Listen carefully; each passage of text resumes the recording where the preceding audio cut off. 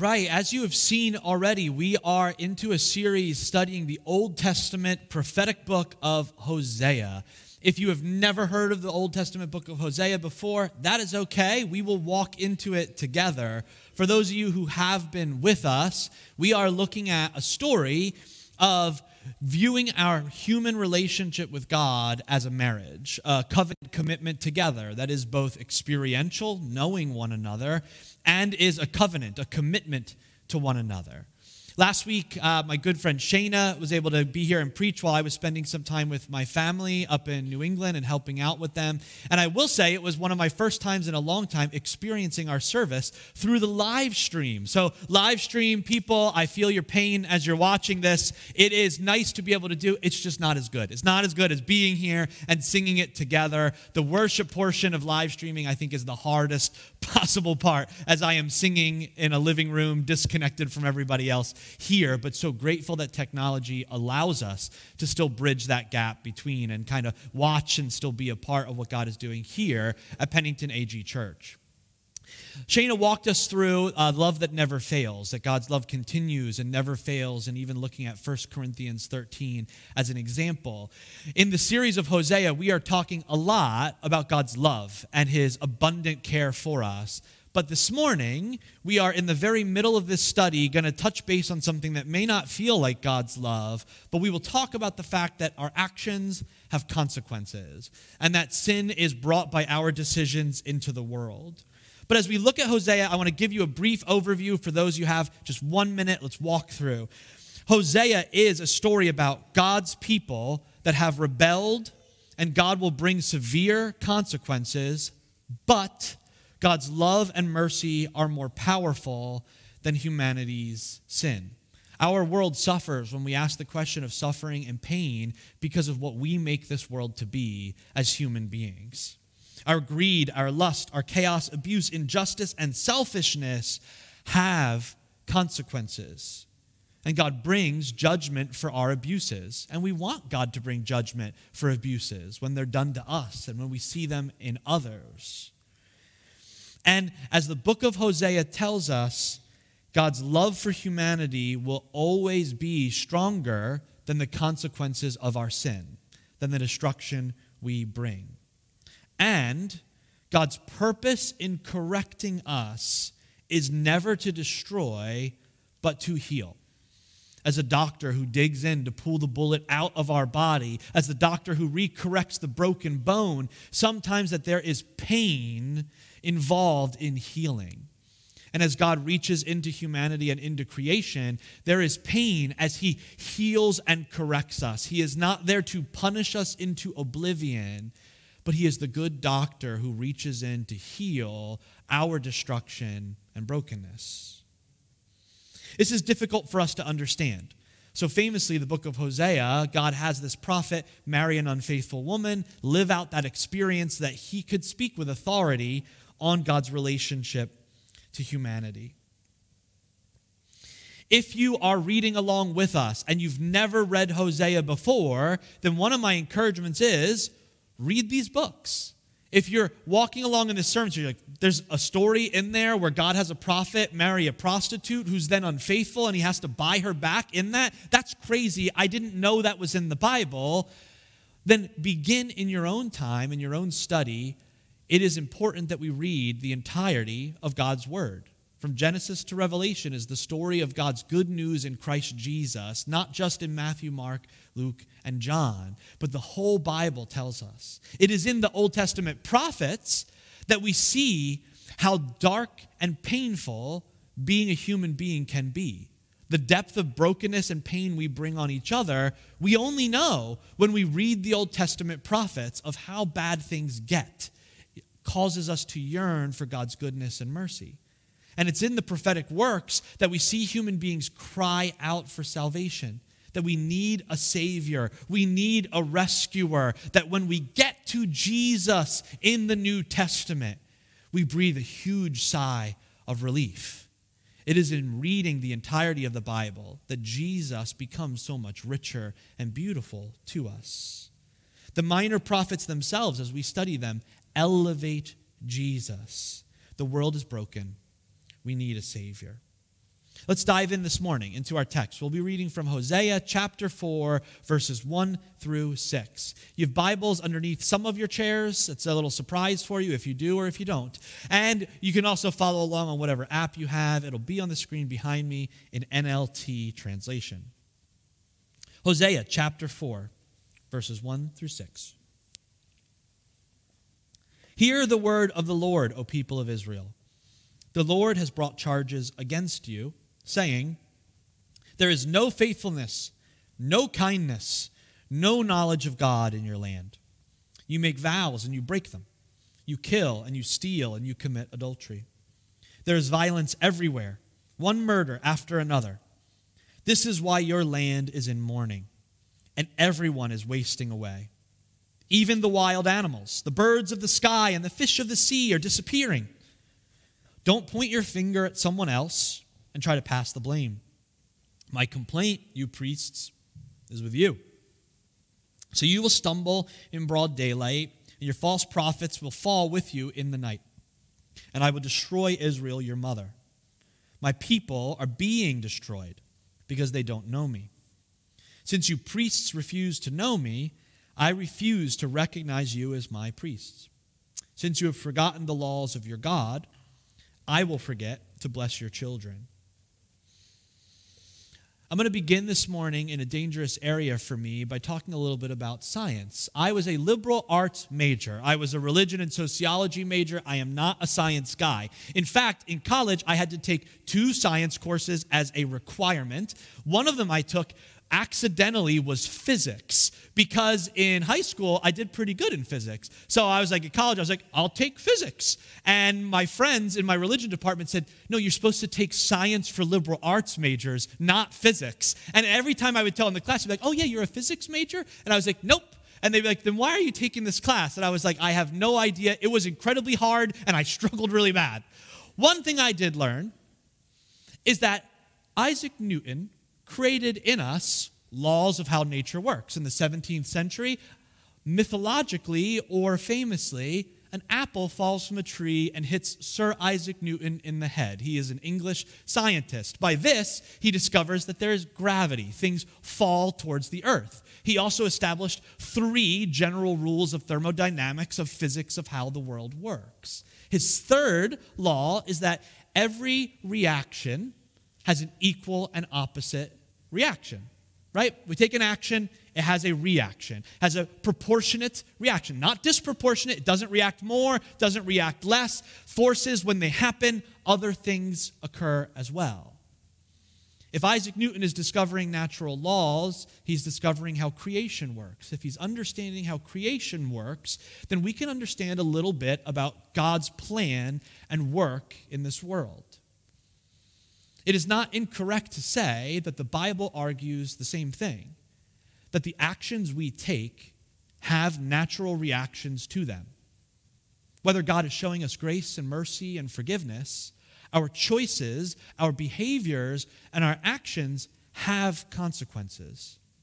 When you read the minor prophets, they articulate this wonderfully and often very painfully. The decisions you have made as a people, the actions you have taken towards the vulnerable people, or the actions you have taken with the body God gave to you, the actions and the allegiances you have taken with foreign nations will have consequences. And it is not just me, God the Creator, punishing you. It is often me taking my hand of grace off of you and allowing your destructive choices to move to their natural ends. Our decisions have consequences and reactions to them. Hosea chapter 4, verse 1. Hosea writes, There is no faithfulness, no kindness, no knowledge of God in your land. The Christopher Nolan Batman movies, in the very first one, The Dark Knight, uh, he, or Batman Begins, he makes an argument we are known by our decisions. Batman tries to explain to a woman who does not know yet that he is Batman, says to her, Underneath all of these actions, there is more to me. I'm not what you see, I'm not these decisions you see in my life. And she says to him, It's not what you are underneath or who you think you are. It is what we do that defines us. Your actions are who you are, the decisions you make, the words you say. We only know each other by the decisions we make. And oftentimes we try to articulate something along the lines of, well, that's not really who I am. When we get in trouble, that's the argument we make, right? That's not really me. That thing I said when I was most angry or that action I took when I had too much to drink, that's not really me. The truth of the matter is, that's more me than perhaps any other time in my life. You're seeing me, my actions, my decisions, how I feel in life. Our faith, Hosea says, is known by our actions. He says, You are not faithful and you are not kind. Thus, you don't know God. I'm making a judgment on you. I'm saying you don't know who He is. And I'm saying that because you're not a faithful person and you're not a kind person. If you were faithful and kind, you would know who you're made to be, you would know your Creator. No faithfulness, Hosea says. A lack of faithfulness, or what faithfulness is, people do what they say. He says, You don't do that. You do what's easy. You do what's easiest for you. You do what you want to. You are not loyal, and you practice no self discipline.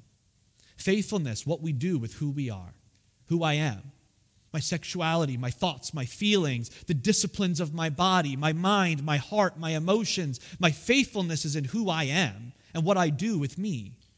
He says, You're not faithful. You are not disciplining yourself. He says, You're not kind. You don't value human life. People are no longer treated as individuals with thoughts and feelings. You are devaluing people around you. You're devaluing humanity itself. Kindness is simply viewing other people as valuable. It says, You're not kind. You're not disciplining yourself, and you're not treating others with kindness and respect. He says, If you knew God, you would. Because to know God is to know ourselves. To know God is to know who we are made to be because we are made in His image. To know God for faithfulness is to know that my life is on purpose and has a purpose. My life is valuable. This body is valuable. My mind and my heart are valuable. And so I treat them with discipline and respect. To know God is to know kindness which is to say that other people are made on purpose and are valuable.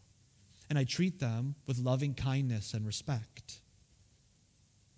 From this awareness, the laws of physics or the law of God is meant to be a tool not to oppress or repress, but as a guidance of our Creator moving us to our best lives, of our Creator moving this world towards order and love to honor and discipline my body, to use and challenge my mind, to engage my heart and my emotions, and to love and care for others.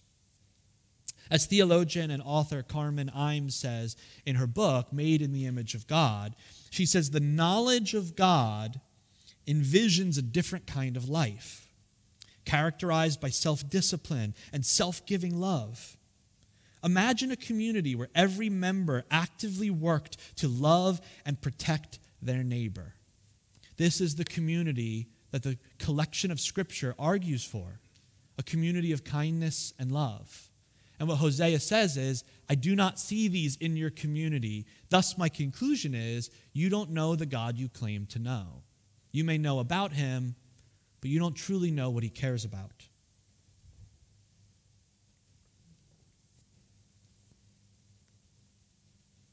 Hosea is a book about God's unfailing love and kindness that is more powerful than our sin and selfishness, but that love and kindness is empty if we do not understand, own, and repent of our culpability of sin and brokenness that we bring into this world. How do we own it and be transformed by God's mercy? I would argue it's simply this accepting the responsibility for our sin, accepting our responsibility, owning it. We are a part of this. The world is broken because each of us contributes to that brokenness.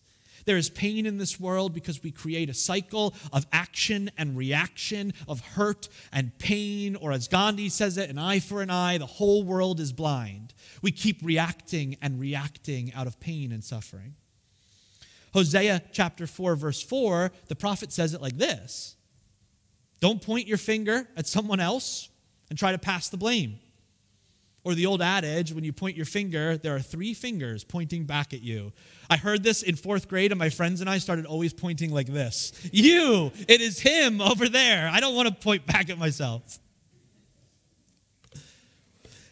Hosea writes that, and we respond maybe to Hosea Who, me?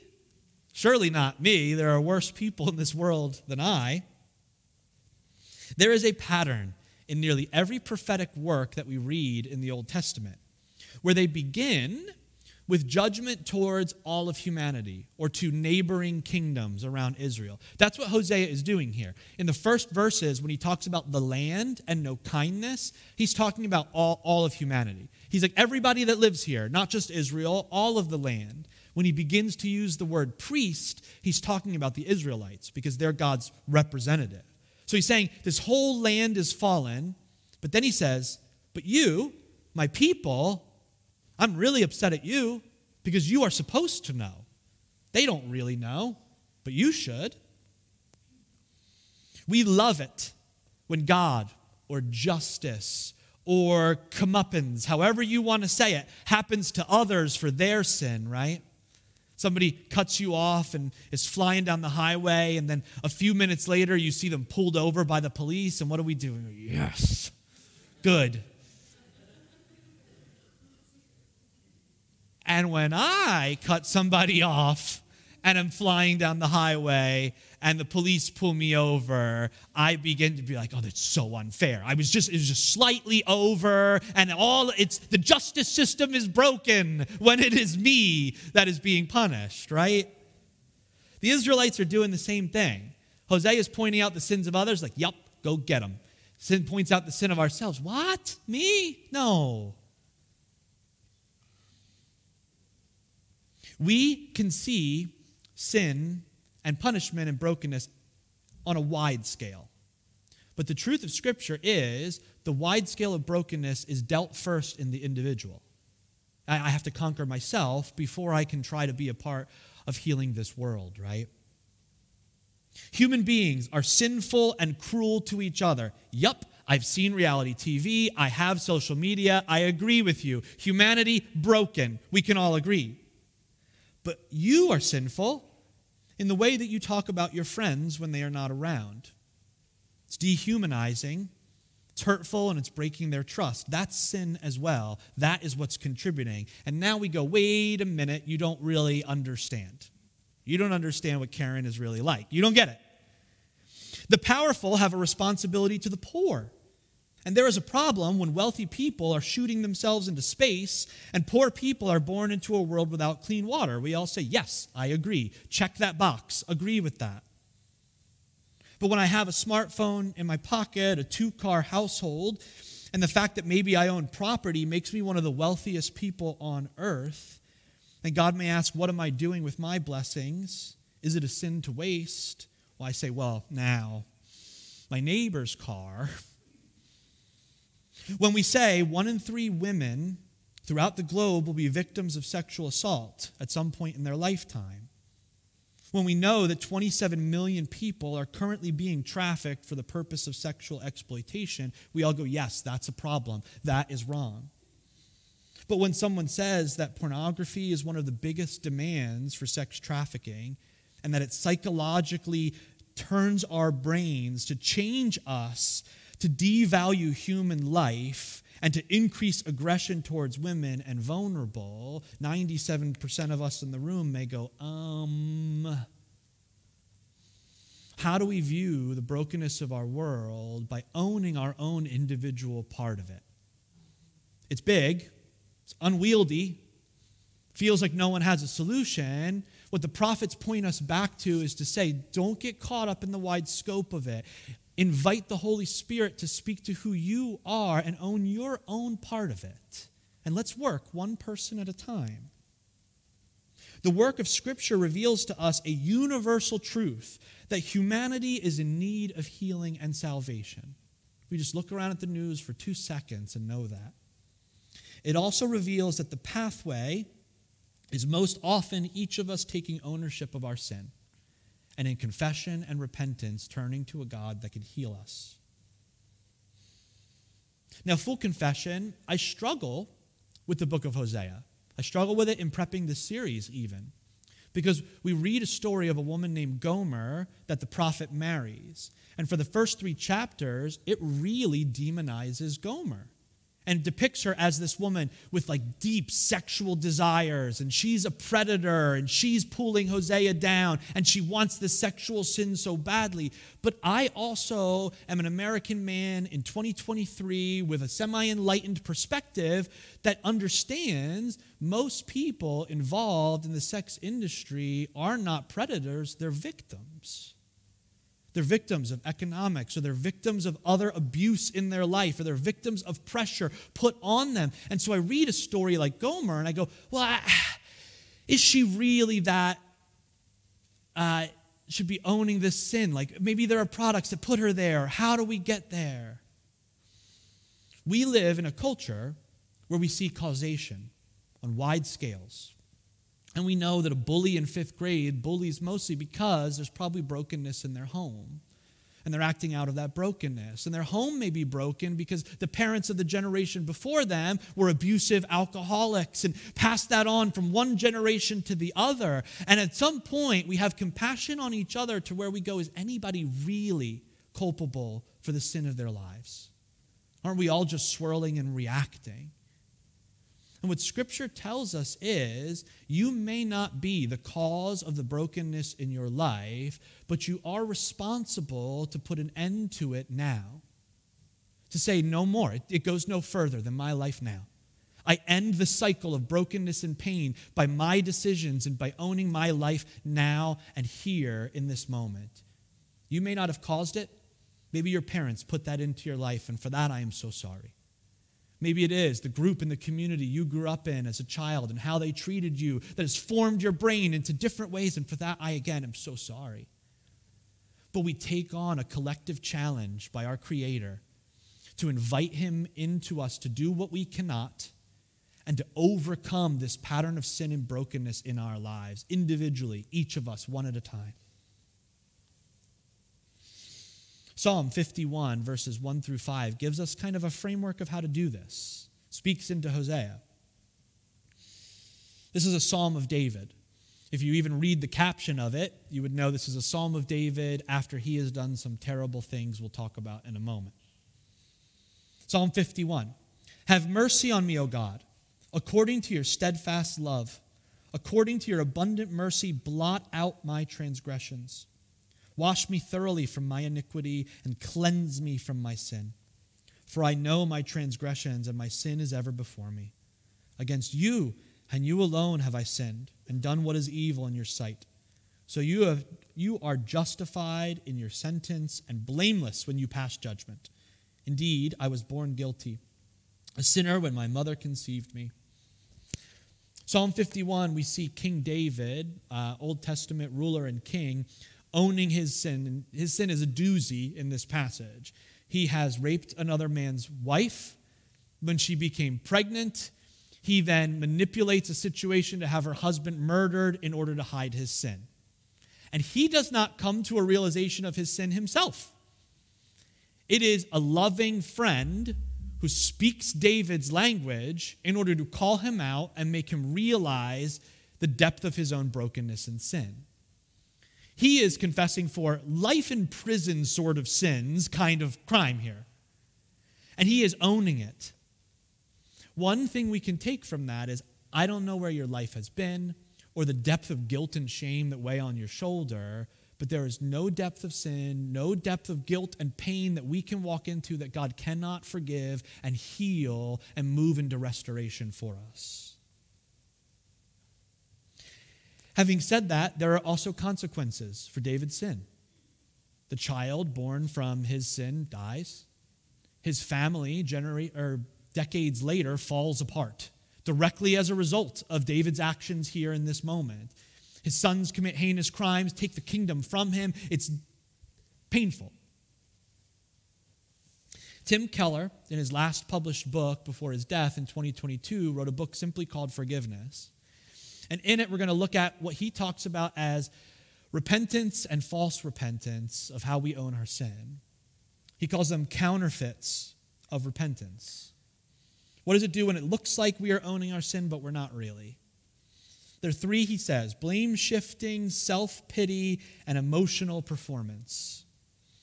First is blame shifting. What does blame shifting look like? It's justification of our sin. Well, I'm not greedy, I'm ambitious, and I'm thrifty. I don't have a problem with alcohol. I'm the life of the party. I'm a fun guy. Just chill out. I'm not mean. I just tell it like it is. We blame shift. It's not really that I'm a problem, it's you're perceiving my problem incorrectly. You don't understand my heart behind it. We shift responsibility. Well, I may have said hurtful things, but only because you pushed me there. I've suffered a lot, and I think I'm entitled to some indulgence and anger. I think I'm entitled to that based on how my life has been, and you need to understand that. Or we simply say that you accusing me of sin are just exaggerating. Yeah, sure, I raised my voice, but the, the story you're telling is not how that went down. That's not really what I said, and you're just remembering it through the lens of emotion. I should not have done that, but people do a lot worse than that in similar circumstances. I don't think I'm really all that bad. We shift the blame away from ourselves. David says in verse 5 of Psalm 51 I was born guilty. And he's not blame shifting of saying, hey, it's not my fault. I was born this way. What he's saying is, I understand how hard it is to be human because I take an honest look at the depravity in my own heart. And then I look around at the world and I say, hey, I'm a part of this. I'm a part of this too. I'm human and I'm broken and I'm causing pain. I am owning my sin, not blaming it or shifting it away. I see how dark my heart is, and I know that that is what we struggle with as people. The second is self pity. Self pity says, I've really made a mess of my life. It is so bad. I have messed this up. I have done terrible things. And it sounds kind of like repentance, but it's not. What we are upset about are the consequences of our decisions and sin, not the sin itself. I'm upset because I got caught. I am upset because you see what I've done and who I am. Self pity says, Look at how I'm suffering because of what I've done. I'm suffering so bad. Yes, I know I did bad, but I'm suffering so much that you should feel bad for me now because I am suffering. Self pity takes our sin and it makes it about ourselves again. It's not about what I've done wrong, but it's you're now starting to feel bad for me because of how bad I feel about what I've done. David pointedly says, Against you, God, and you alone have I sinned.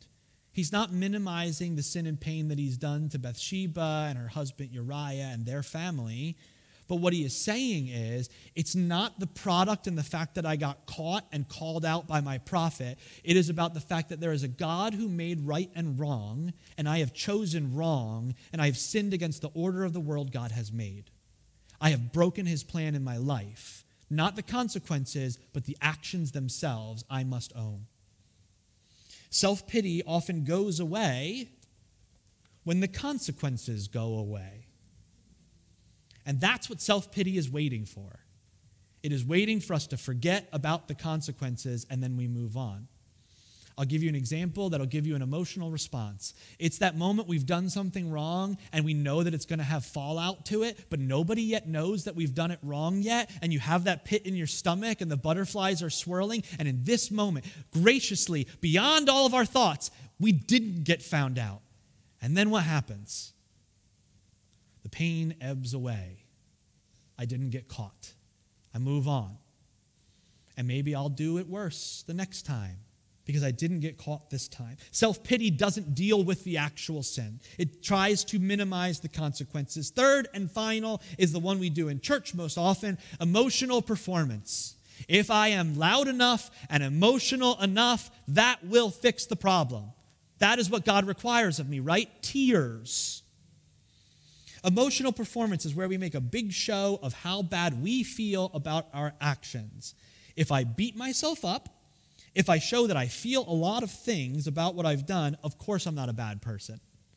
Look at how bad I feel. I am not a sinful person. A sinful person wouldn't be crying this much. A sinful person wouldn't have wrote a seven paragraph essay on my Instagram account about what I've done. That's because I'm a good person that I am showing you all of my emotions.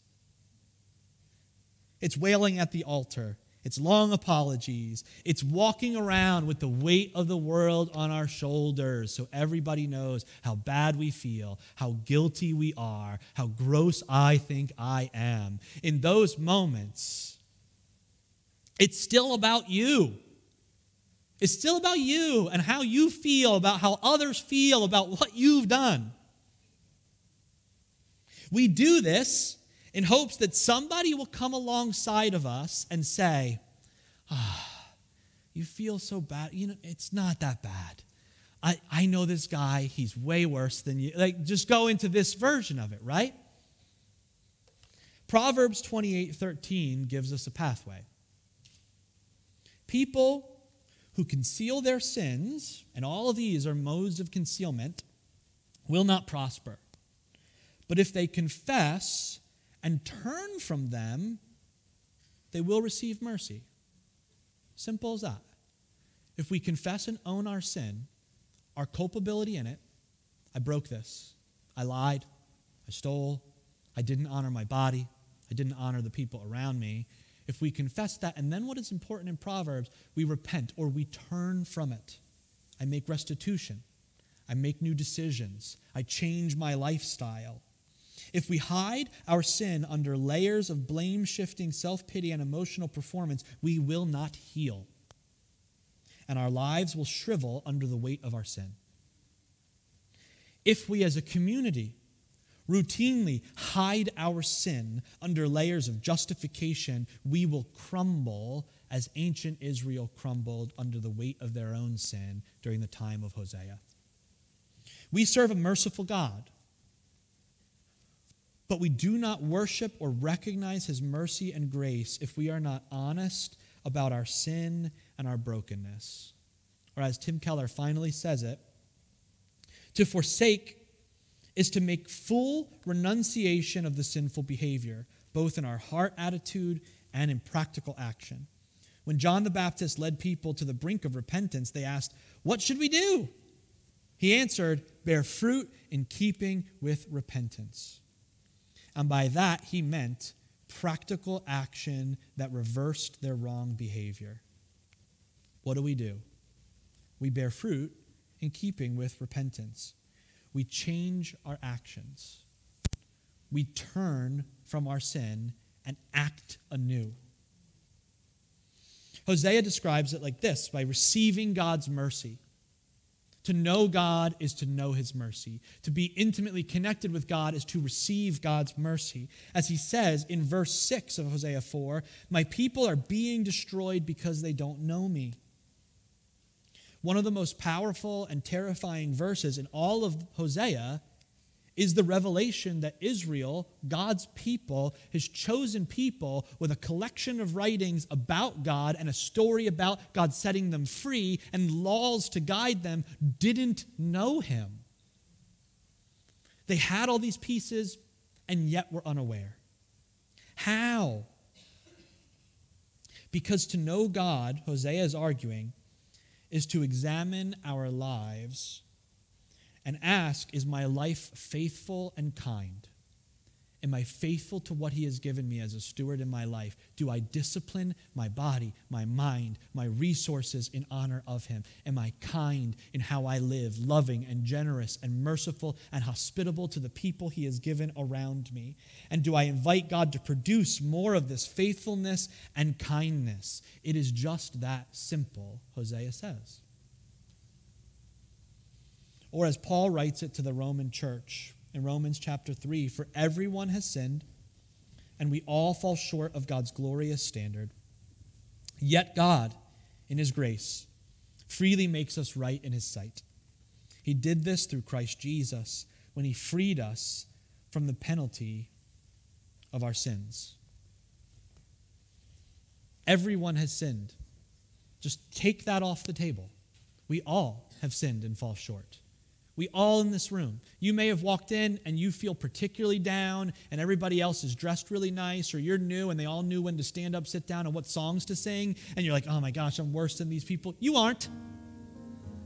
Or come in and be like, I don't know how to perform the way the rest of these people perform. They seem to be much better people than I. They're not.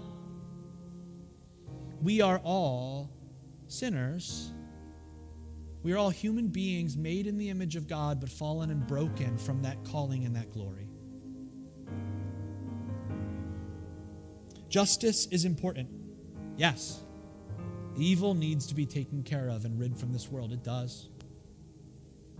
That is part of kindness. But often, we need to begin at a place where we stop looking around at each other's sin and stop correcting the communal sins outside of us and take a moment and begin in our own hearts and our own lives. Before I can fix the world, I need the transforming work of the God who made me to heal my own heart and mind. We have a ton of justice warriors out there who are deeply broken and flawed, just perpetuating and continuing it forward Maybe our intentions are in the right place, but our execution is terrible. And the Holy Spirit points us back to our own healing.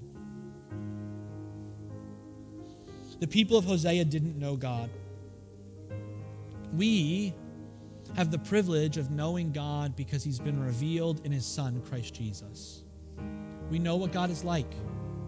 And we see in the story of Jesus a faithful, kind person who disciplined himself and loved others. And did it so far that he disciplined himself for our own sins onto a cross and died in place of our sin and judgment. And was kind, and that he conquered it and left it in the grave that we may live free and forgiven. The grace of Jesus is free for us, but it is not free. The law of thermodynamics says every action has an equal and opposite reaction. The action of our sins had the reaction of God Himself dying in our place. Our sins didn't go nowhere, they went on to the loving kindness of the one who made us, and He took our place. And as the Gospels tell us, our actions when we repent, still have reactions. And we'll finish with this story.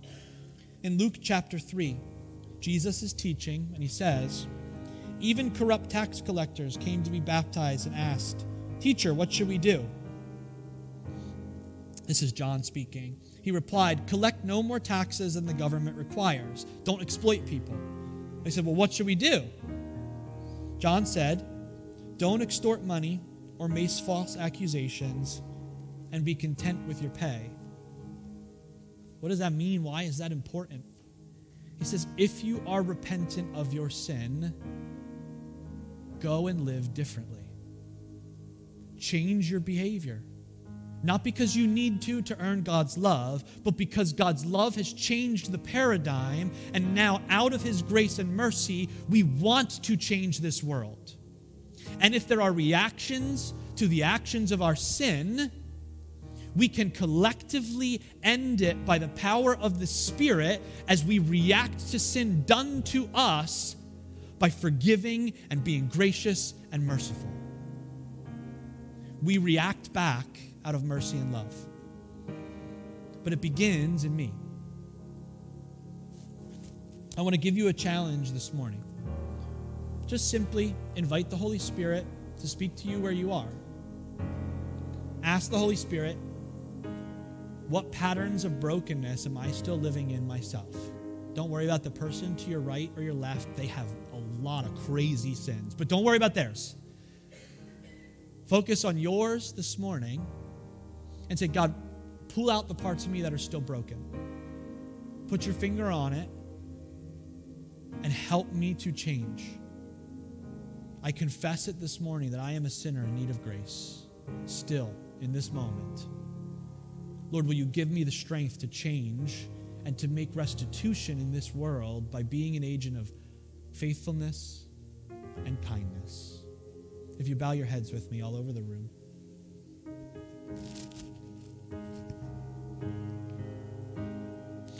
If you're new this morning and you would say that you don't have a relationship with Jesus, I want to give you a chance just to pray one simple prayer that can begin that journey of knowing Him, that can begin that journey of healing into your brokenness. If you are a follower of Jesus, use this as a moment to re invite the Holy Spirit to examine you and what Jesus has saved you from. If you pray with me, Jesus, in this moment, I confess my need for a Savior. I am broken and not living as you made me to live. I am not faithful. I am not kind. I need you to transform me and to forgive me. Jesus, I believe that you came to this earth fully God, fully man, and you lived a perfect, righteous, kind, faithful life. And that you went to the cross as the reaction to our sin and you died in our place, conquering sin and death. You were buried in the ground, and on the third day, you rose from the grave, conquering sin and death itself, living eternally, resurrected, so that the promise for each of us is that we would live resurrected lives now and one day in the future for eternity. Jesus, you gave your life for me. Today, I commit my life to follow you. I pray this in the name of Jesus. Amen and amen. I'll invite up our prayer team to my right and to my left. And as the worship team leads us in one final song this morning, I will just give you a challenge. Wherever you are in the room, just take these next few minutes and make them a personal wrestling time with Jesus. Say, Jesus, point out my sin this morning. I'm going to give it over to you. And may I leave this morning just one step further on my path of repentance.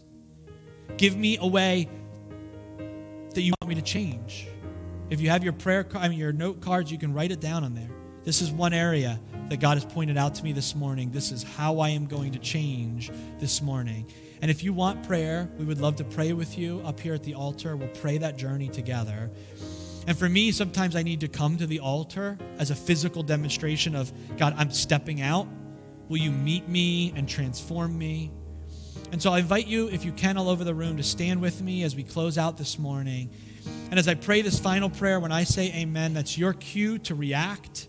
You can begin to join in worship. You can come forward to the altar space or come forward to receive prayer this morning. Lord, we thank you for your word. We pray, Lord, for our reaction to it. Lord, that it would drive us to you, would drive us to healing and to response. Lord, draw out of me all that is not of you. May I be more kind and faithful today. I pray this in the name of Jesus.